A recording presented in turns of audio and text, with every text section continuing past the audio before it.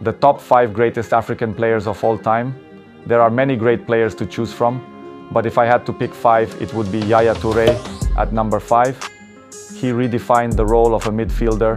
He had power, precision, and a great goal scorer in the important games. He was a very hard player to play against, and in my opinion, the complete player. At number four, I would have to say JJ Okocha.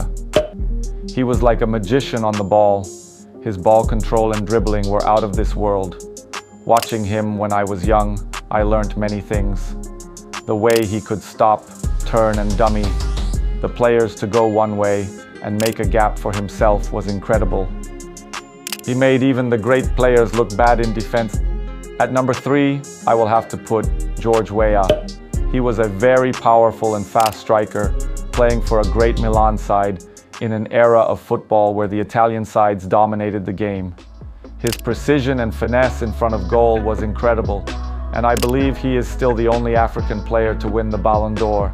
At number two, it gets a bit harder, and you really can't split these two players, but I will have to go with Didier Drogba. He was the ultimate big game player and an absolute nightmare for defenders. His strength, skill, and technique made him impossible to play against. The game against Bayern, it was a Champions League final.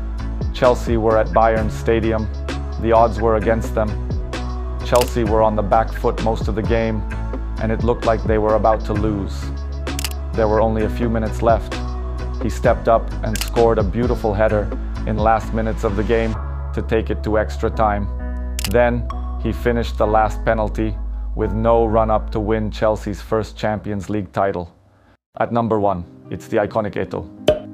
He's one of the most electrifying players I had the pleasure of playing against. The reason I have chosen him is because of his consistency at the top. He scored many beautiful goals with his precision and pace, but to win back-to-back -back trebles, four Champions League titles, and a long list of league titles is why I put him at number one. It was a shame Madrid let him go, and he ended up at Barcelona. We could have been a great partnership. I also have to mention Salah.